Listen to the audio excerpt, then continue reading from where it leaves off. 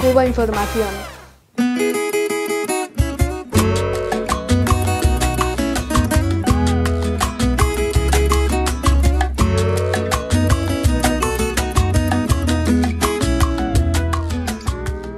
El documental El caso Freiter es la historia de un profesor de la Universidad del Atlántico que promovía el pensamiento crítico y que le enseñaba a sus estudiantes a pensar diferente y a no tragar entero. La historia del profesor Freiter es la historia de la violencia política y la persecución narcoparamilitar que existe en Colombia contra quienes promueven el pensamiento crítico. El documental del profesor Freiter eh, plantea eh, cómo el poder narcoparamilitar asociado a agentes del Estado tenían infiltradas las universidades públicas para acabar con la vida de los profesores que promovían el pensamiento crítico. De manera que el documental plantea el legado del profesor, quién fue, qué pensaba, por qué promovía el pensamiento crítico, pero también abarca algo muy importante y es el proceso judicial, en donde encontramos que el propio Estado colombiano es el autor intelectual del asesinato del profesor Freiter, que es un crimen de Estado que ya está declarado como crimen de lesa humanidad, lo cual eh, no se permite que prescriba la investigación. Esta investigación no ha terminado. Esta investigación continuará porque cada vez que investigamos los documentos y el proceso judicial vamos encontrando los móviles de por qué se infiltraron los paramilitares en las universidades públicas para asesinar profesores, estudiantes y personal administrativo que se oponía al proyecto político de las Autodefensas Unidas de Colombia, que es una organización del narcotráfico que trabaja con políticos y poderosos en Colombia.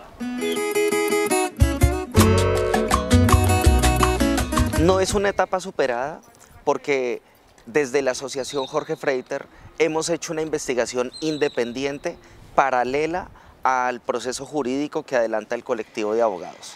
Esta investigación independiente tiene nuevos hallazgos. Por ejemplo, descubrimos que el predio en donde se asesinó al profesor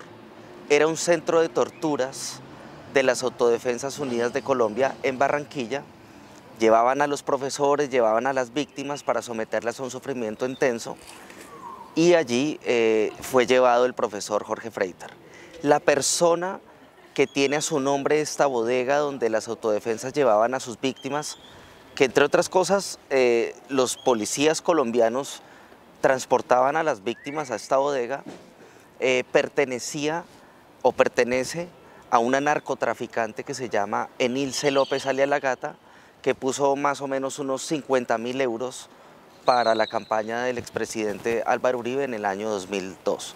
De manera que hay elementos nuevos, hay conexiones con políticos y se ratifica la importancia de investigar estos crímenes de Estado. Por lo tanto, hoy en día el caso Freiter tiene actualidad y el documental abarca estos elementos nuevos que la sociedad debe conocer para que no se repitan.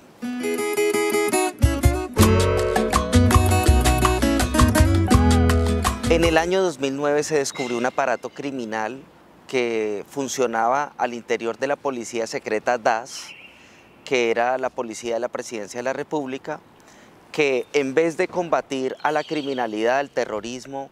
lo que hizo fue utilizar todo el equipo técnico y todo el equipo humano para perseguir a la oposición, a periodistas, magistrados. Aunque en Colombia se acabó esta policía secreta, se fundaron nuevas entidades que le delegaron estas tareas ilícitas. Una de esas, en la actualidad, es la Unidad Nacional de Protección, que es la encargada de custodiar a los líderes sociales y a cualquier persona que está amenazada en Colombia. Durante el gobierno del presidente Iván Duque, la Unidad Nacional de Protección se le entregó a una organización del narcotráfico que se llama el Clan del Golfo, que podríamos decir hoy que es un reducto del cartel de Medellín, porque el narcotráfico en Colombia pues sigue operando con total normalidad, pese a que hoy existe un gobierno que lo está combatiendo fuertemente. La Unidad Nacional de Protección, encargada de proteger a los líderes sociales, periodistas, opositores y cualquier persona que está amenazada en Colombia y que,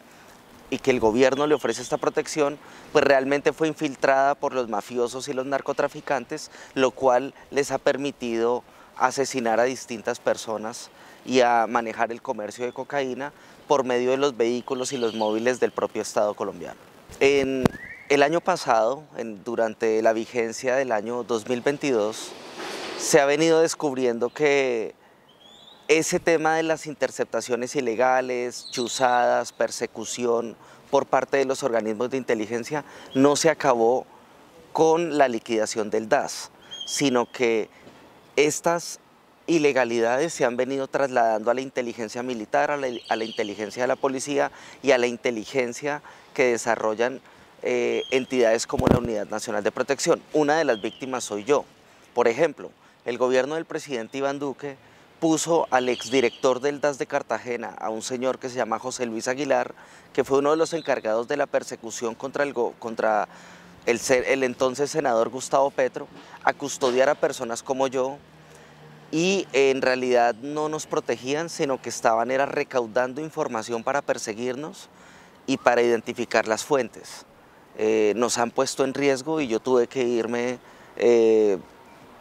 digamos, en un momento muy difícil en mi vida hacia Buenos Aires, ya que había un plan inminente en mi contra. Yo he regresado a Colombia, pero lamentablemente los servicios de inteligencia siguen al servicio del crimen, a pesar de que hoy hay una transformación política en Colombia. Al gobierno del presidente Petro le va a quedar muy difícil limpiar los organismos de inteligencia porque están permeados por la criminalidad del narcotráfico.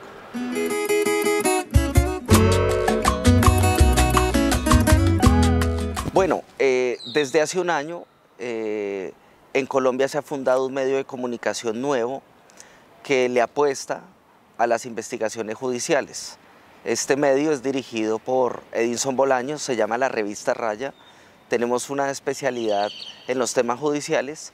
y una de las grandes investigaciones que hizo Edinson, que publicó la revista Raya, fue el espionaje que se ha venido ejecutando contra Cuba, que no es algo nuevo. Este espionaje nos sirve para explicar un poco lo que venía sucediendo con el DAS y lo que ahora sucede con los organismos de inteligencia. A Cuba la siguen persiguiendo, hemos publicado documentos de inteligencia que muestran que los embajadores han sido interceptados, han sido espiados, han sido víctimas de una gran campaña de desprestigio, tanto nacional como a nivel internacional, y la revista Raya ha publicado eh, documentos de inteligencia secretos que muestran, digamos, la veracidad de estas afirmaciones. Eh, este espionaje se ha venido desarrollando desde el gobierno del presidente Juan Manuel Santos, continuó en el gobierno del presidente Iván Duque y hay que decir que el gobierno del presidente Petro tiene toda la voluntad política de no continuar con este espionaje, pero reitero, le va a quedar muy difícil al gobierno limpiar estas entidades de todos los criminales que, que hoy están trabajando para estas agencias de inteligencia. La revista Raya, www.revistaraya.com, publica una investigación que muestra que el gobierno de Cuba continúa siendo víctima de seguimientos ilegales hechos por el gobierno de Colombia.